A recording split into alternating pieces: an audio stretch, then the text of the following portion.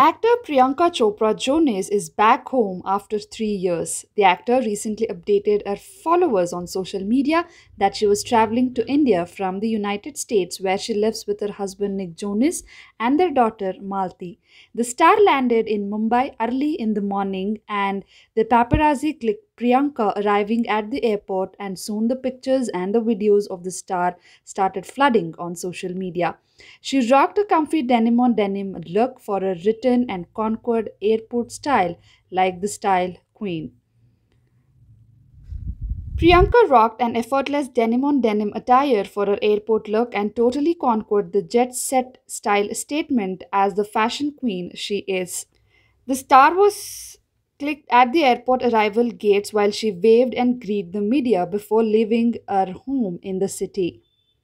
Welcome home, Priyanka. Meanwhile, Priyanka Chopra is returning to India after almost three years. So stay tuned for all the latest updates. And that's it for today's video. If you like this video, don't forget to hit that like button, share the video with your friends and family and subscribe to my channel for more such videos. See you super soon in my next one. Until then, stay safe, stay happy and stay healthy. Bye guys.